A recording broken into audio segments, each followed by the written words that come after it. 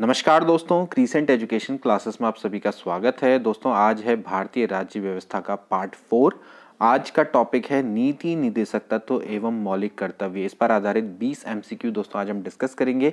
सभी प्रश्न पूर्व परीक्षा में आ चुके हैं, इसलिए क्लास काफ़ी इंपॉर्टेंट हो जाती है। रोज शाम को हम क्विज करवाते हैं। रोज शाम को आप हमारे संग जुड़ सकते हैं सेल्फ असेसमेंट के लिए। PCS police patwari R O सभी परीक्षाओं के लिए वीडियो महत्वपूर्ण है। जितने भी लोग एक बार हमारे संग जुड़ गए हैं वीडियो को लाइक कर दें। और नए हैं चैनल पर तो सब्सक्राइब करना ना भूलें और शेयर भी कर दें अपने दोस्तों के बीच में। तो चलिए आज की वीडियो को शुरू करते हैं। पहला क्वेश्चन आज का, भारतीय संविधान में राज्य के नीति निर्देशक तत्वों की संकल्पना किस देश के संविधान पर आधारित है? यानी कि जो हमने राज्य के नीति निर्देशक तत्व है, ये किस देश के संविधान से लिए हैं? ब्रिटेन से, आयरलैंड से, यूएसए से या फिर कनाडा से? तो इसका राइट आंसर क्या है दोस्तों? आइलैंड ठीक है? आइलैंड दोस्तों, इस देश से ही हमने राज्य के नीति निषेक तत्वों को लिया है या उनका कॉन्सेप्ट दोस्तों हमने आयरलैंड से लिया है, ठीक है? नीति निषेक तत्व हमारे किसमें आते हैं? भाग चार में, ध्यान रखना, भाग चार में नीति निषेक तत्वों का उल्लेख किया गया है, ठीक है? और एक्चुअली इनकी संख्या कितनी है? छत्तीस से इक्यावन तक, यानी कि अनुच्छेद छत्तीस से इक्यावन तक नीति निर्देशक तत्वों का उल्लेख किया गया है। चलिए अभी आगे प्रश्न भी पढ़ेंगे, फिर और चीज़ें भी बताते हुए चले जाएँगे। नेक्स्ट क्वेश्चन देखिए, संविधान के अंतर्गत भारतीय लोकतंत्र के आदर्शों को हम कहाँ देख सकते हैं? संविधान के अंतर्गत भारतीय लोकतंत्र के आदर्शों को हम कहाँ देख सकते हैं? बहुत ही अच्छा प्रश्न है थोड़ा सा घुमाया हुआ है।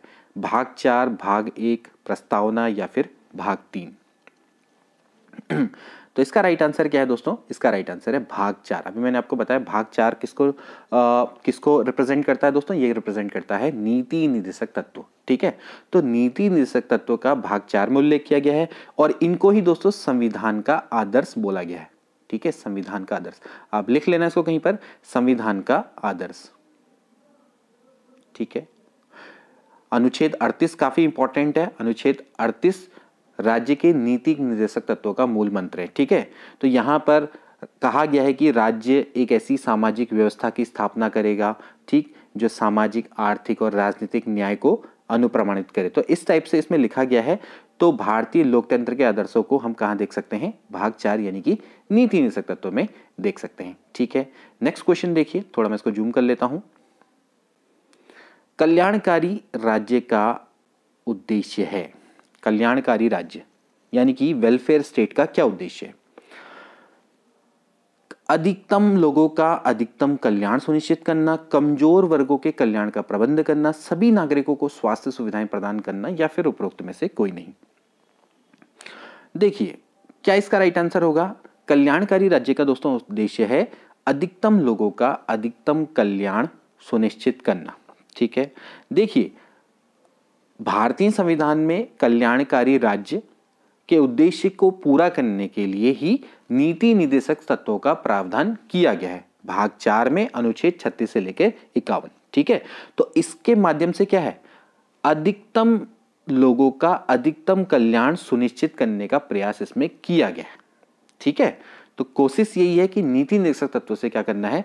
कल्याणकारी राज्य को स्थापित करना है, ठीक है? इसमें जैसे आता है भाई समान कार्य के लिए समान वेतन, जैसे महिला और पुरुष को समान वेतन मिलना चाहिए, ठीक है? कुटीर उद्योगों को बढ़ावा देना है। तो इस टाइप का जो उद्देश्य है वो किसमें है दोस्तों?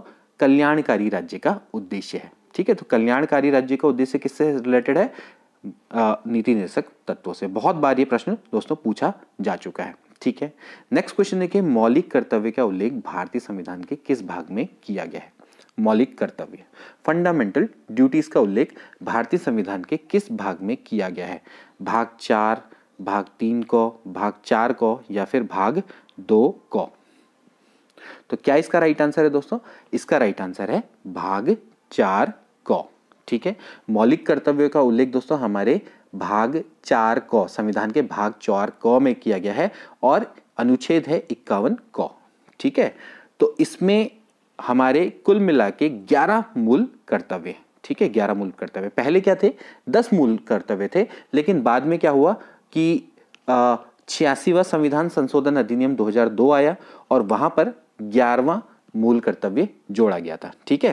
तो ये सब चीज़ें बहुत सारी इंपॉर्टेंट है, इसमें इसको ध्यान रखेगा तो यहाँ पर जो अनुच्छेद इक्यावन कौ है, उसमें शुरू में दस मूल कर्तव्य थे, बाद में ग्यारहवा जोड़ा गया। अब इसके बारे में भी डिटेल में डिस्कस करेंगे, ठीक है? तो चलिए समझ में आ गया होगा भारत चार कौ, ठीक है? अगला देखिए, निम्नलिखित में से भारत में मौलिक कर्तव्य कौन सा है? ठीक? तो अभी हमारे जो कुल मिला के ग्यारह मौलिक कर्तव्य हैं, उनमें से आपको बताना है कि इनमें से कौन सा एक है, ठीक है? न्यायपालिका से कार्यपालिका का पृथककरण ठीक है? हमारी मिली जुली संस्कृति की समृद्ध विरासत को सुरक्षित करना, बच्चों के लिए मुफ़्त एवं अनिवार्य शिक्षा या अस्पृश्यता की परंपरा को समाप्त करना। ठीक है? ध्यानपूर्वक इसको देखिएगा। तो इसका राइट आंसर क्या है दोस्तों? इसका राइट आंसर है हमारी मिली जुली संस्कृति को, की समृद्ध विरासत को संरक्षित करना। ठीक है? ये दोस्तों हमारा क्या है? एक मौलिक कर्तव्य है, ठीक है? बाकी दोस्तों, इसमें क्या है? अलग अलग है। जैसे देखा जाए तो ये नीति निषक्त सिद्धांतों के अंतर्गत आते हैं, ठीक है? न्यायपालिका से कार्यपालिका पृथकरण ठीक है? ये अनुच्छेद 50 में इसकी व्याख्या की गई है, ठीक है? तो ये सब ऐसे ही बच्चों के लिए मुफ़्त एवं अनिवार्य शिक्षा। अब तो ये आर्टी सूचना, ये अब तो शिक्षा के अधिकार में आ चुका है, ठीक है? तो ये सब चीज़ें आपकी क्या है दोस्तों? ये आपकी क्या है? हमारी मिलीजुली संस्कृति की समृद्ध विरासत की रक्षा करना। ये दोस्तों, हमारा क्या है? भारत में मौलिक कर्तव्य है। वैसे देखा जाए तो ये फोर्टी के अंतर्गत आएगा। अनुच्छेद पैंतालीस के अंतर्गत आएगा ठीक है? तो ये अभी नीति निषक तत्वों के आ, के अंतर्गत आते हैं ठीक है? अगला देखेंगे मूल कर्तव्य का वर्णन संविधान के किस अनुच्छेद में है? ठीक अभी मैंने आपको बताया था जो मूल कर्तव्य का वर्णन है दोस्तों संविधान के अनुच्छेद इक्यावन कौ में है ठीक है? मूल संविधान में मैंने पहले ही बोला आपको कि मूल कर्तव्य नहीं थे ठीक है? बाद में क्या हुआ था? देखिए बहुत इंपॉर्टेंट है संविधान संशोधन है बयालीसवां। ठीक है? बयालीसवां संविधान संशोधन था जो कि हुआ था 1976 में, ठीक है? इसमें पूछा जाता है कि भाई कौन सी समिति थी? तो ये थी सरदार स्वर्ण सिंह समिति। सरदार स्वर्ण सिंह समिति की सिफारिश पर बयालीसवां संविधान संशोधन किया गया था 1976 में और इसमें भाग चार कौ के अंतर्गत इक्यावन को ऐड किया गया, ठीक है? तो उसमें क्या हुए थे? दस मूल कर्तव्यों को शामिल किया गया था। बाद में क्या हुआ? एक और ग्यारहवा मूल कर्तव्य शामिल किया गया छियासीवे संविधान संशोधन 2002 में। ठीक है? और ये जो हमने मूल कर्तव्य हैं, दोस्तों, कहाँ से लिए हैं? ये हमने लिए हैं सोवे संघ, रूस से हमने इसको लिया है। ठीक है? तो मौलिक कर्तव्य, समझ में आपको आ गया होगा। ठीक है? अगला देखते हैं, भारतीय संविधान का कौन सा अनुच्छेद यह निर्धारित करता है कि राज्य के नीति संविधान किसी न्यायालय द्वारा लागू नहीं किए जा सकते। अनुच्छेद इकतीस, अनुच्छेद अड़तीस, अनुच्छेद सैंतीस या फिर अनुच्छेद उनचालीस। तो क्या इसका राइट आंसर है दोस्तों? इसका राइट आंसर है अनुच्छेद सैंतीस। ठीक है? देखिए, भारतीय संविधान का जो अनुच्छेद नंबर थर्टी सेवन है, दोस्तों वो यही बताता है कि राज्य के नीति निषक सिद्धांत किसी न्यायालय में लागू नहीं किए जा सकते, ठीक है? तो ये एक तरह से हम ये कह सकते हैं कि ये देश के शासन का बेस है, ठीक है? और विधि बनाने के लिए इन सिद्धांतों का पालन करना राज्य का कर्तव्य होगा, लेकिन ये प्रावधान क्या है? न्यायालयों के द्वारा अपरिवर्तनीय बनाए गए हैं। ठीक है? मतलब कि इनको किसी न्यायालय में आप लागू नहीं कर सकते, ठीक है? तो न्यायपालिका राज्य के नीति हिंसक तत्वों के तहत किसी भी कर्तव्य को निभाने के लिए विवश नहीं कर सकती। ये सिंपल सा आर्टिकल 37 कहता है, ठीक है? तो आर्टिकल 37 के अकॉर्डिंग राज्य के नीति निषक तत्व किसी न्यायालय में लागू नहीं किए जा सकते, ठीक है? अगला देखिए, किसने कहा था राज्य के नीति तत्व एक ऐसा चेक है जिसे सुविधा अनुसार अदा किया जा सकता है। राज्य की नीति निर्देशक तो एक ऐसा चेक है जिसे सुविधा अनुसार अदा किया जा सकता है। तो इसका राइट आंसर कौन है? केटी सा। ठीक है? केटी सा ने क्या किया था? भाई, कहा था कि भाई, राज्य का जो नीति निषेध तत्व है, वो एक ऐसा चेक है जो बैंक की सुविधा अनुसार अदा किया जाता है। ठीक है? केटीसा कौन थे? प्रोफेसर केटीसा दोस्तों बिहार प्रांत से संविधान सभा के सदस्य चुने गए थे, ठीक है? सलाहकार समिति और मौलिक अधिकार की उप समिति के भी दोस्तों ये सदस्य थे, ठीक है? तो केटीसा का नाम ध्यान रखेंगे। कहाँ से चुने गए थे दोस्तों ये? बिहार प्रांत से, ठीक है? बिहार प्रांत से संविधान सभा के सदस्य थे, ठीक है? चलिए अगला देखेंगे। समान नागरिक संहिता किस राज्य में लागू है? समान नागरिक संहिता, यानी कि यूनिफॉर्म सिविल कोड, ठीक? तो तो इसका राइट आंसर क्या है दोस्तों? इसका राइट आंसर है गोवा। ठीक? समान नागरिक संहिता कहाँ पर लागू है दोस्तों? यूनिफॉर्म सिविल कोड है। ये आपका कहाँ पर है? गोवा में लागू है। ठीक? तो इसमें होता क्या है यूनिफॉर्म सिविल कोड में? जैसे कि जो सिविल मामले होते हैं, जैसे कि विवाह है, या तलाक का मामला चल रहा है, या फिर किसी भूमि को लेके उत्तराधिकार का मामला है, ठीक है? तो इसके संबंध में सभी धर्मों के लिए समान कानून लागू होता है। मतलब सभी धर्मों में समान कानून लागू होता है, सिविल मामलों में तो उसको हम बोलते हैं समान नागरिक संहिता। ठीक है? तो जो भारत में जो गोवा राज्य है, वहाँ पर भी क्या है, समान नागरिक संहिता लागू है। ठीक है? तो यहाँ पर वैसे देखा जाए तो अनुच्छेद चवालीस है, उसमें लिखा गया है कि सभी नागरिकों के लिए समान सिविल संहिता का प्रावधान है। ठीक है? यूनिफॉर्म सिविल कोड का प्रावधान है, लेकिन अनुच्छेद चौवालीस क्या है? नीति नहीं सकता तो अब आप कोर्ट के द्वारा ज़बरदस्ती इसको नहीं करवा सकते लागू। ठीक है? जैसे कि मैंने आपको पहले बोला आर्टिकल 37 के द्वारा क्या कह सकते हैं, राज्य की नीति सिद्धांत है, वो किसी न्यायालय द्वारा लागू नहीं करवाए जा सकते। ठीक है? चलिए आगे बढ़ेंगे। भारतीय संविधान के किस अनुच्छेद में समान न्याय एवं निशुल्क विधिक सहायता का प्रावधान है? अनुच्छेद 30 अनुच्छेद उनचालीस क, अनुच्छेद 25 या फिर 33 ख। तो इसका राइट आंसर क्या है? इसका राइट आंसर है अनुच्छेद उनचालीस क। ठीक है? देखिए अनुचालिस अनुच्छेद उनचालीस क क्या कहता है? वो समान न्याय और निशुल्क विधिक सहायता का प्रावधान आ, की बात करता है कि यानी कि राज्य सुनिश्चित करेगा कि जो समान न्याय मिले निशुल्क विधिक सहायता मिले। ठीक है? मतलब कि कोई व्यक्ति है अगर वो आर्थिक रूप से कमज़ोर है या वो निर्योग्य है तो उनके लिए निशुल्क विधिक सहायता की व्यवस्था की जाए, ठीक है? वैसे देखा जाए तो ये जो निर्योग्य वाला जो मतलब कि जो व्यक्ति अगर कोई निर्योग्य व्यक्ति है या आर्थिक रूप से कमज़ोर है, इसको भी दोस्तों बयालीसवें संविधान संशोधन 1976 द्वारा ऐड किया गया था, ठीक है? तो उनचालीस को भी इंपॉर्टेंट है, बयालीसवें संविधान संशोधन अधिनियम 1976 से ये जुड़ा हुआ है, ठीक है? तो राज्य सुनिश्चित करता है कि भाई कानूनी समान न्याय मिले और निःशुल्क विधिक सहायता का भी प्रावधान हो, उन व्यक्तियों को जिनको मतलब वो आर्थिक रूप से कमज़ोर हैं या फिर निर्योग्य हैं या डिसेबल्ड है, ठीक? इसके बाद आगे बढ़ेंगे। भारतीय संविधान के किस अनुच्छेद में राज्य को ग्राम पंचायतों के गठन का निर्देश दिया गया है? बड़ा इंपॉर्टेंट है और बहुत बार पूछा जा चुका है। तो आर्टिकल 40 अनुच्छेद 40 दोस्तों भारतीय संविधान के अनुच्छेद में ग्राम पंचायतों के गठन से ही संबंधित है, ठीक है? तो इसके अंतर्गत क्या होता है कि जो ग्राम पंचायतों का जो गठन है, उसका कदम कौन है? उसके लिए आवश्यक कार्रवाई कौन करेगा? वो करेगा राज्य। ठीक है?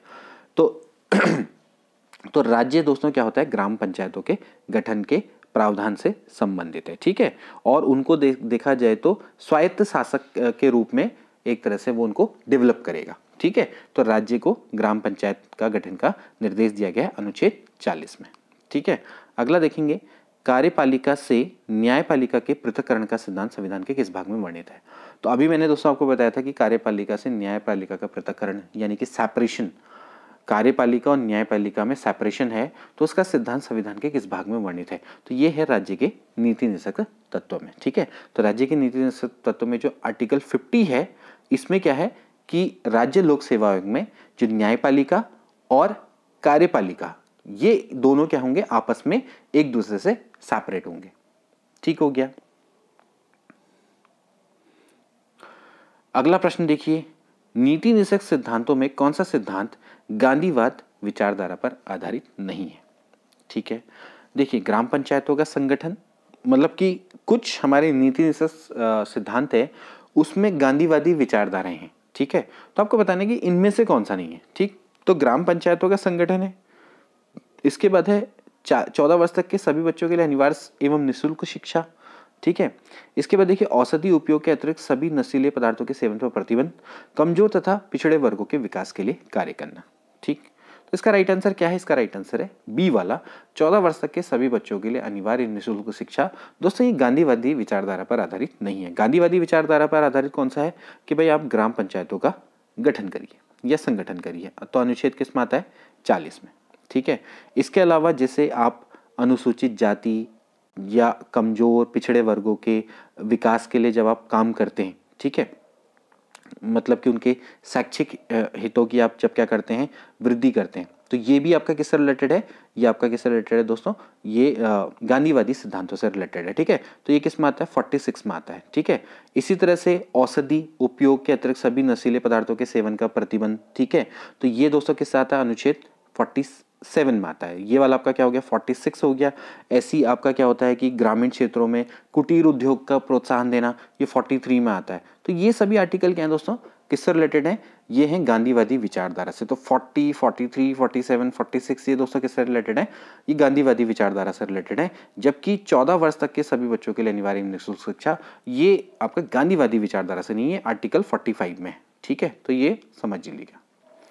ठीक? अगला देखेंगे, निम्नलिखित नीति सिद्धांतों में कौन सा सिद्धांत उदारवादी विचारधारा पर आधारित नहीं है? ठीक है? उदारवादी, एक है गांधीवादी, एक है उदारवादी। ठीक?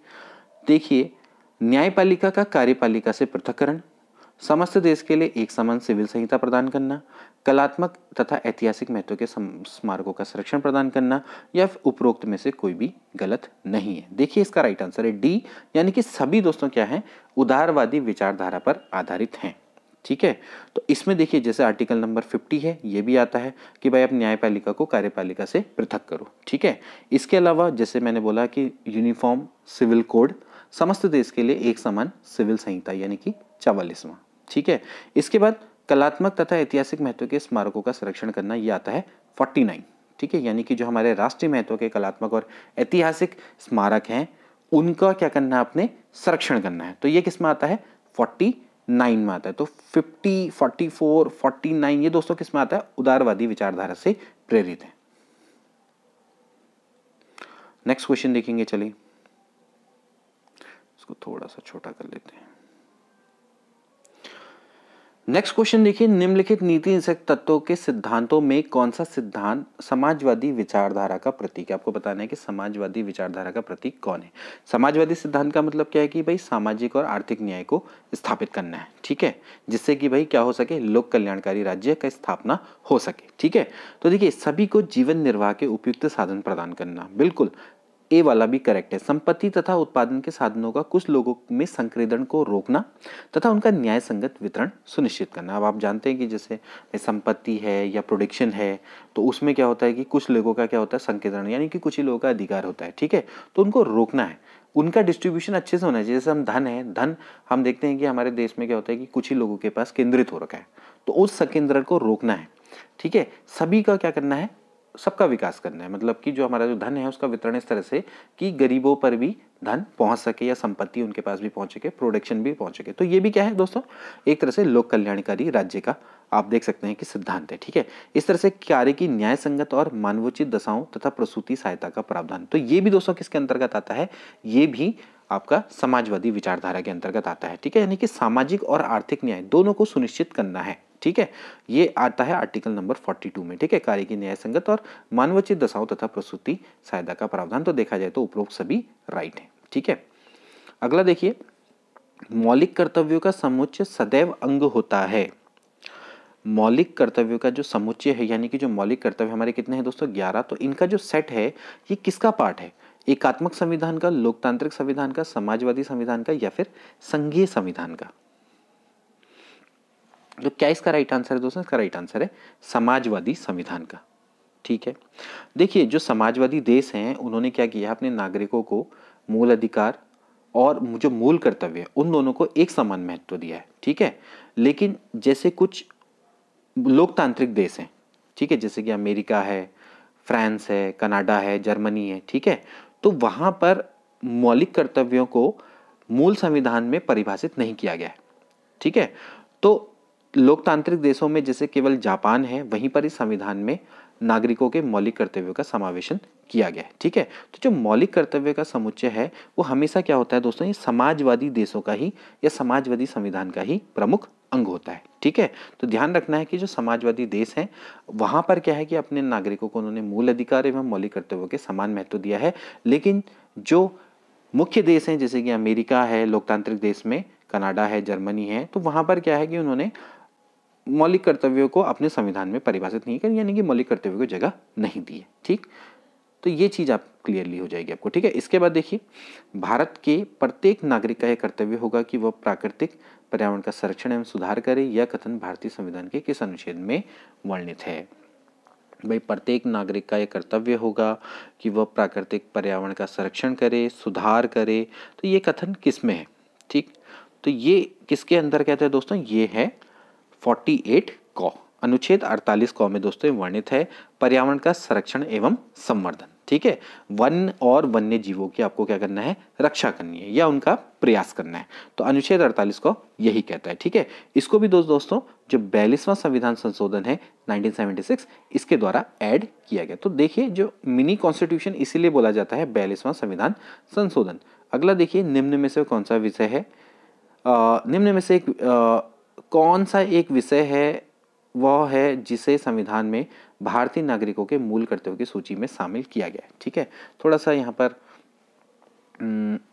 थोड़ा मेरे को लगता है कि थोड़ा टाइपिंग में से, निम्न में से कौन सा एक विषय वह है? अच्छा ठीक है। जिसे संविधान में भारतीय नागरिकों के मूल कर्तव्यों की सूची में शामिल किया गया है। देखिए, धर्मनिरपेक्षता का व्यवहार करना, वैज्ञानिक स्वभाव, मानव, मानववाद और ज्ञान अर्जन तथा सुधार आदि की भावना विकसित करना सरकार को सभी करों का नियमित और सही ढंग से भुगतान करना, अपने कर्तव्य के निष्पादन कर रहे किसी लोक सेवक पर आक्रमण ना करना। तो क्या इसका राइट आंसर है दोस्तों?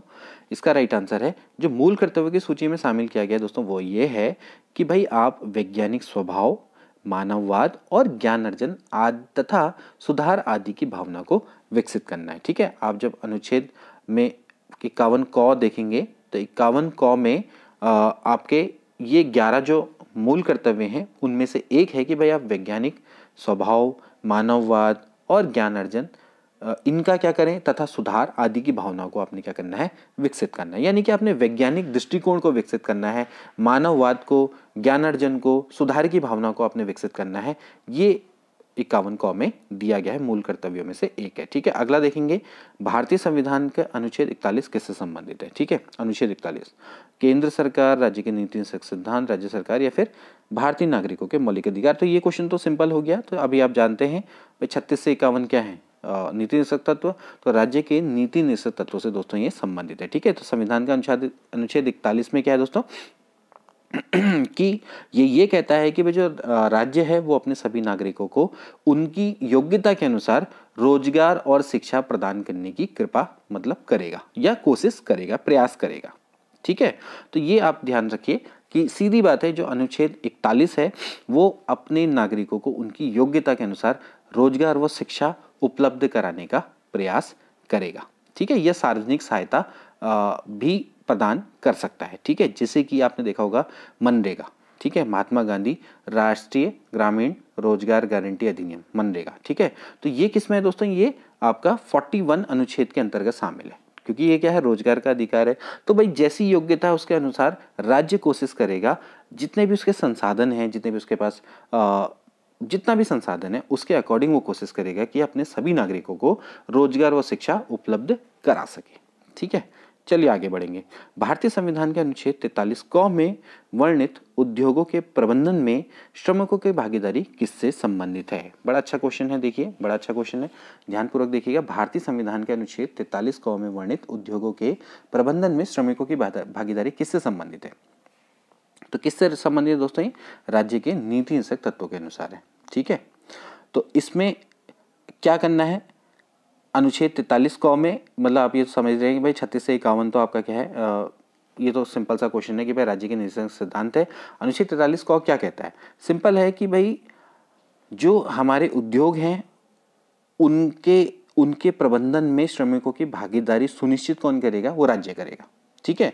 या फिर आप ऐसा भी कह सकते हैं कि भाई जो राज्य के किसी उद्योग में अगर लगे हुए या या राज्य के किसी उद्योग में काम करने वाले जो कर्मकार हैं या किसी उपक्रम में अगर कोई लगे हुए हैं, किसी संगठन के प्रबंधन में कोई कर्मकार हैं तो उनके भाग लेने के लिए सुनिश्चित करने, या वो भाग ले, इसको सुनिश्चित करने के लिए जो कदम उठाएगा, वो कौन उठाएगा? राज्य उठाएगा। ठीक है? तो ये भी जो अनुच्छेद तैतालीस को है, ये भी बयालीसवां संविधान संशोधन नाइनटीन द्वारा ऐड किया गया ठीक? तो भारतीय संविधान के अनुच्छेद तैतालीस कौ में क्या है कि भाई जो हमारे उद्योग या फिर हमारे उपक्रम या संगठनों के प्रबंधन में श्रमिकों की जो भागीदारी है, वो राज्य सुनिश्चित करेगा, उसके लिए प्रयास उठाएगा या उसके लिए आवश्यक कदम उठाएगा। तो ये किसमें वर्णित है दोस्तों? ये अनुच्छेद तैतालीस क में वर्णित है। बयालीसवां संविधान संशोधन अधिनियम 1976 के द्वारा इसको ऐड किया गया। तो दोस्तों, आज के लिए इतना ही। 20 क्वेश्चन आपको अच्छे लगे होंगे। देखिए पीसेस में इसी तरह के क्वेश्चन आएँगे। आई होप कि आपको काफ़ी लाभ मिलेगा इस वीडियो को देखने के बाद और जनरली आपको लाभ मिलेगा। अब मैं कल के लिए आपको एक टॉपिक दे रहा हूँ, इसका टॉपिक का नाम है राष्ट्रपति एवं उपराष्ट्रपति। इसके बारे में दोस्तों आप पढ़ के लाएँगे। इस पर आधारित दोस्तों हम आपको क्वेश्चन करवाएँगे क्विज करवाएँगे। तो कल आप इसको पढ़ के आइएगा, राष्ट्रपति एवं उपराष्ट्रपति। मिलते हैं अगली वीडियो में। Till then take care and goodbye